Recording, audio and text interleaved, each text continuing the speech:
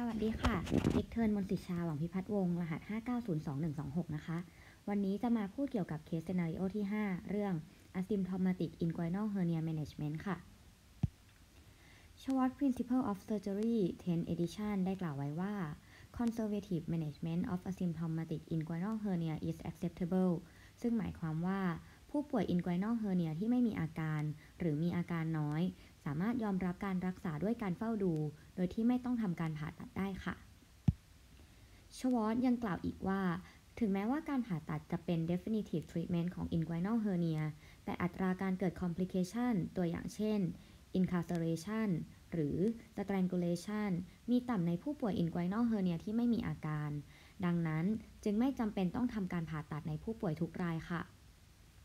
โดยมีการศึกษา prospective studies และ meta analysis พบว่าไม่มีความแตกต่างระหว่าง intention to treat outcome quality of life หรือ cost effectiveness ระหว่างกลุ่มที่ได้รับการผ่าตัดและไม่ได้รับการผ่าตัดค่ะ อย่างไรก็ตามนะคะ มีการศึกษาอีกชิ้นเมื่อปี 2012 ซึ่งเป็น systematic review กล่าวไว้ว่า 72%ของผู้ป่วย asymptomatic inguinal hernia จะสามารถเกิดอาการปวดขึ้นภายหลังได้ ซึ่งจะส่งผลให้ต้องทำการผ่าตัดใน 7.5 ปีหลังการวินิจฉัยค่ะ โดยสรุปคือการรักษาผู้ป่วย inguinal hernia ที่มีอาการหรือที่ไม่มีอาการหรืออาการน้อย โดยไม่ผ่าตัด ไม่ได้เพิ่มความเสี่ยงในการเกิดภาวะแทรกซ้อนค่ะ หลังจากที่เราได้อ่านข้อมูลจากชวอตแล้วนะคะ เราจึงทำการหาหลักฐานเพิ่มเติม เพื่อจะสนับสนุนคำกล่าวนี้ค่ะ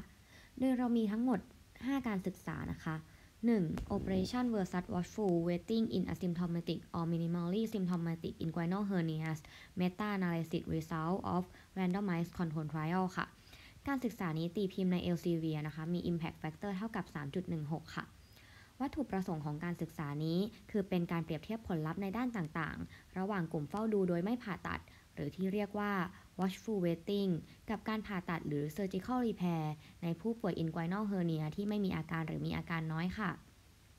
โดยผลลัพธ์ของการศึกษานี้นะคะ พบว่าในกลุ่มที่ผ่าตัดให้ผลที่ดีกว่าคือเพนน้อยกว่า เนื่องจากทำการผ่าตัดไปแล้วนั่นเอง แต่ว่าไม่มีความแตกต่างอย่างมีนัยสำคัญในเรื่องของ physical component score เรื่องของ mortality rate เรื่องของ surgical complication และ post operative hernia recurrence ระหว่างกลุ่มที่ไม่ผ่าตัดและกลุ่มที่ได้รับการผ่าตัดค่ะ สิ่งสำคัญอีกอย่างหนึ่งนะคะ ที่ได้กล่าวไว้ในการศึกษานี้ คือมีกลุ่มผู้ป่วยที่ไม่ผ่าตัดจำนวนหนึ่ง ที่เมื่อเวลาผ่านไปต้องเปลี่ยนมาทำการผ่าตัดเนื่องจากความเจ็บปวดค่ะ อย่างไรก็ตามนะคะ ผลลัพธ์ของการศึกษานี้ก็ยังสามารถสรุปได้ว่า การรักษาด้วยการไม่ผ่าตัดหรือ watchful waiting ยังเป็นวิธีการที่ปลอดภัยและยอมรับได้ค่ะ การศึกษาที่ 2 นะคะ watchful waiting vs repair of inguinal hernia in minimally symptomatic men a randomized clinical trial เป็นการศึกษาเมื่อปี 2006 มี impact factor เท่ากับ 1.701 นะคะ การศึกษานี้เนี่ยมีวัตถุประสงค์เพื่อเปรียบเทียบเพนและ physical component score ในผู้ป่วย inguinal hernia เพศชาย ที่มีอาการน้อยและไม่ได้รับการผ่าตัด เปรียบเทียบกับกลุ่มที่ทำการผ่าตัดในช่วงเวลา 2 ปีค่ะ ผลการศึกษาพบว่า 23%ของผู้ป่วยที่ไม่ได้รับการผ่าตัดนะคะ เปลี่ยนมารับการผ่าตัดเนื่องจากมีเพนที่เพิ่มขึ้น โดย self report pain ในผู้ป่วยที่เปลี่ยนมาได้รับการผ่าตัดเนี่ยพบว่าอาการเจ็บปวดดีขึ้นค่ะ อย่างไรก็ตาม post op hernia related complications ไม่ต่างกันในทั้ง 2 กลุ่มนะคะ เราจึงสามารถสรุปได้ว่า การรักษาแบบไม่ผ่าตัดหรือ watchful waiting เป็นตัวเลือกที่ยอมรับได้ในผู้ป่วย inguinal hernia ชายที่มีอาการน้อย เพราะการผ่าตัดหลังจากมีอาการมากขึ้นแล้วก็ยังคงปลอดภัย เนื่องจาก complication เกิดขึ้นน้อยมากค่ะ การศึกษาที่ 3 นะคะ watchful waiting versus repair for asymptomatic or minimally symptomatic inguinal hernia in men a systematic review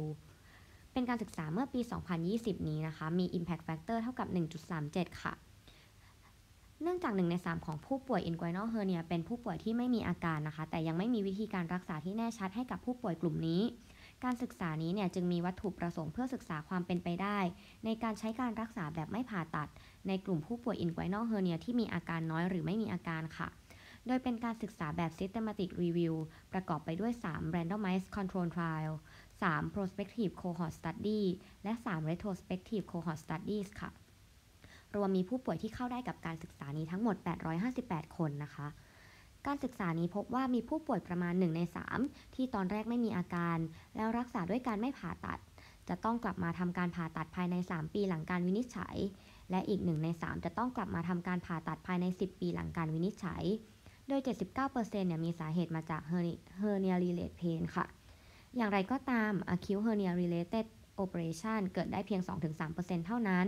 และ watchful waiting ไม่มีความเกี่ยวข้องกับ mortality rate ที่เพิ่มขึ้นนะคะ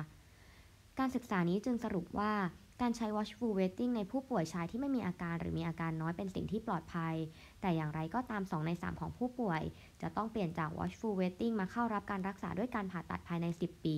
ด้วยเหตุผลหลักจากเรื่องความเจ็บปวดค่ะ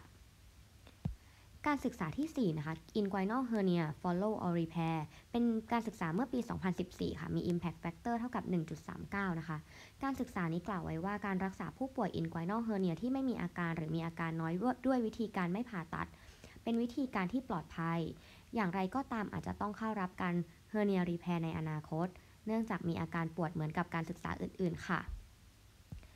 การศึกษาที่ 5 long term results of a randomized control trial of a non-operative strategy watchful waiting for men with minimally symptomatic inguinal hernias นะคะ การศึกษานี้เนี่ยมีวัตถุประสงค์เพื่อติดตามระยะยาวในผู้ป่วยกลุ่มที่ได้รับการรักษาแบบไม่ผ่าตัดหรือ watchful waiting ที่เปลี่ยนมาเป็นการผ่าตัดในภายหลังค่ะ โดยจากการศึกษาพบว่า 81 รายจาก 254 ราย หรือคิดเป็น 31.9%เปลี่ยนมารับการรักษาด้วยการผ่าตัด ดยพบว่าผู้ป่วยที่มีอายุมากกว่า 65 ปี เปลี่ยนวิธีการรักษามากกว่าผู้ป่วยที่อายุน้อยกว่า คิดเป็น 79%กับ 62%ตามลำดับค่ะ โดยสาเหตุของการเปลี่ยนวิธีการรักษาที่มากที่สุด คือสาเหตุจากความเจ็บปวดค่ะ คิดเป็น 54.1%นะคะ แล้วก็มีผู้ป่วย 3 ราย ที่จำเป็นต้องได้รับการผ่าตัดแบบฉุกเฉิน แต่ว่าไม่มีการเสียชีวิตเกิดขึ้นค่ะ การศึกษานี้จึงสรุปได้ว่า